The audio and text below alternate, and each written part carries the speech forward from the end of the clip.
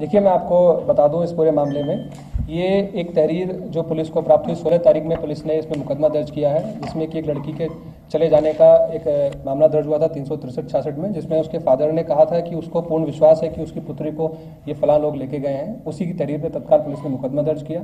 तीन दिन बाद जब ये लड़की बरामद हुई तो इस लड़की को तत्काल पुलिस ने एक सौ इकसठ और मेडिकल के सारी चीज़ें उसमें जो टेक्निकली कार्रवाई होती है, सब की गई।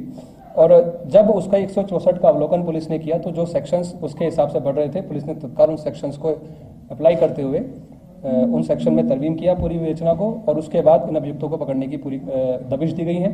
साथ ही मैं आपको बता दूँ कि जो जिस लड़की के बारे में ये एफ़ जिस लड़की के चले जाने के बारे में एफआईआर दर्ज हुई थी और जो इसमें आरोपी हैं, वो एक ही गाँव के हैं और आसपास के रहने वाले हैं, चूँकि दोनों की जाति अलग है। तो इस संदर्भ में जानकारी अभी जो इनिशियल मिली है, उसमें यह है कि परिवार वालों ने उसको काउंसलिंग भी की और उसको काउंसलिंग के लिए कानपुर में अपने रिश्तेदारों के यहाँ भेज दिया था।